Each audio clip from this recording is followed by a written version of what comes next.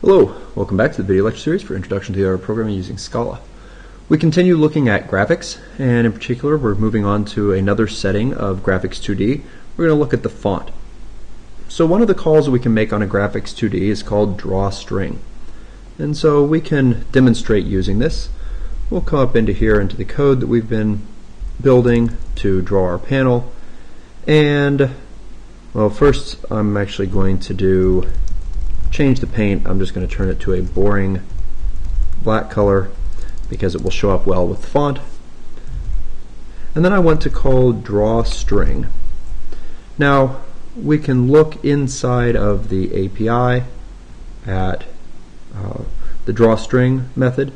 You pass it a string and either two floats or two ints. And the so the string I want to draw to draw there is um, we'll go with very simple standard string. And just to illustrate something, I'm going to draw this at 0, 0. And then the question will be, where does this pop up? Now you know that 0, 0 is this top corner, and you probably notice immediately it doesn't say hello world anywhere. Actually, it did draw but the zero zero location is imagine that you are writing on lined paper. You know, if you take yourself back to kindergarten or first grade when you had the triple lined paper and every letter had to go from you know the bottom line either to the middle line or the top line depending upon what letter it was. Well, the zero zero, the y value that you specify is the lower line. So hello world is being written right up here just outside of where we can see it. If we want to be able to see it, we need to lower it down a bit, and we can do that by, say, putting it down at 50. And now you can see it. So the this corner right here is x equals 0, y equals 50. This has been dropped down 50 pixels. It's halfway to the top of our rectangle, and it prints out hello world well, what if I wanted this to pop to, to come up in a larger font or maybe some other font? Well, uh, for that I have to change the font setting. And so we can call set font before we draw our string.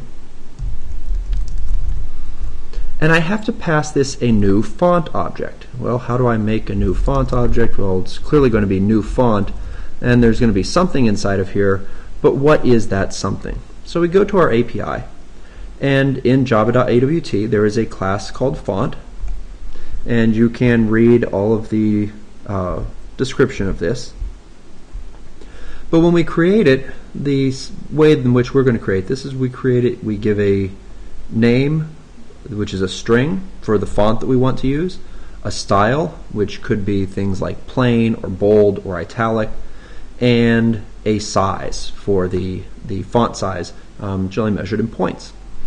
So let's say I wanted to make this font bigger. Uh, what could I use for name? Well, it turns out you can use any name for a font that's installed on the system.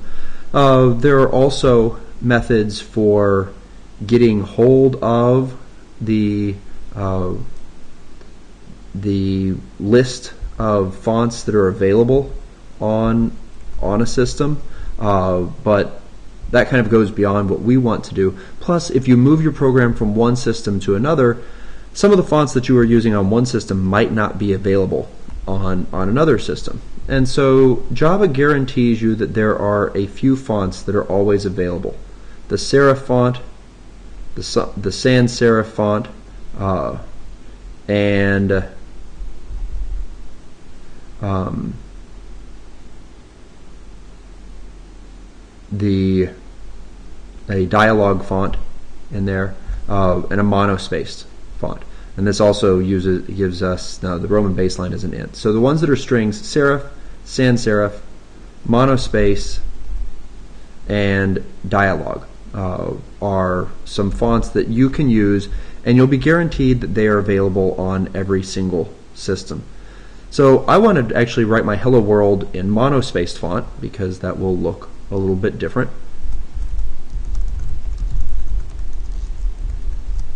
Uh, how about I make my monospace font bold? and then I want to make it a, not a 200 point font, a 20 point font. Uh, not found value font. Indeed, we need to import it or add it to our growing list of imports here.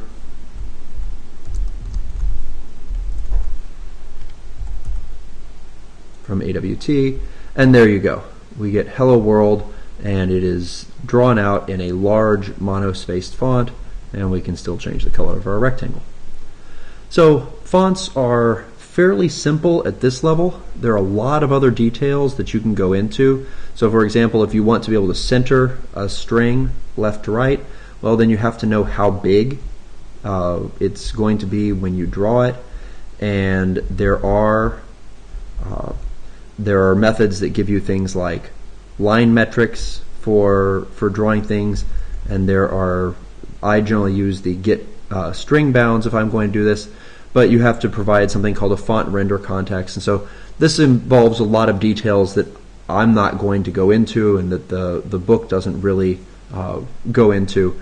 You can find out how big a string is going to be drawn so that you can position it appropriately, uh, but that's kind of beyond the scope of what we're going to, to do here. So that's pretty much what I'm interested in you being able to do with, with uh, drawing strings to your graphics and doing uh, fonts.